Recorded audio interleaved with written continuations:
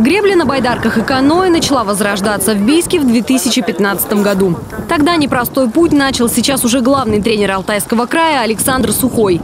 Затем волну подхватил Дмитрий Лухнев. В 2017-м он переехал в Бийск из Московской области вместе с семьей. И вот уже на протяжении пяти лет воспитывает из бийских спортсменов чемпионов, которые достойно представляют наш регион.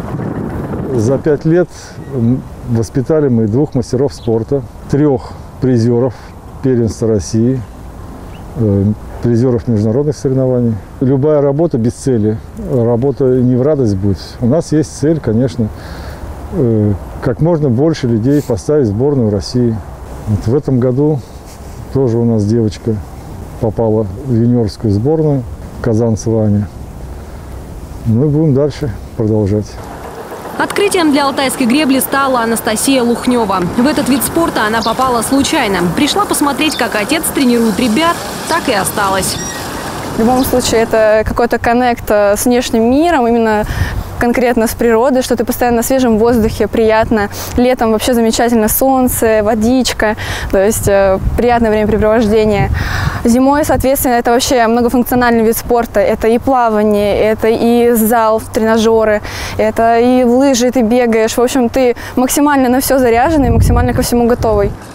Анастасии хватило четырех лет, чтобы выполнить норматив мастера спорта. Сейчас она уверенно выступает на уровне России и состоит в молодежной сборной. Это несмотря на то, что в спорт пришла поздно. Начала тренироваться лишь с 14 лет. Как рассказывает сама спортсменка, такого результата ей удалось достичь благодаря природной упертости. Она никогда не сдается и до победного готова работать над результатом. До сих пор, на самом деле, э, наши соперники вот ходят и говорят, что вот откуда вы появились, Алтайский край, то есть вас давно так не было, вот вас вообще же не существовало, там, в основном там Питер, Москва, Тверь, то есть такие регионы, которые гребли развиты, а в Алтайском крае она же недавно появилась, и то есть недавно появилась и уже так успешно. Я вообще заряженная на следующий сезон, это не конец, дальше больше, это только было начало к моему какому-то успеху.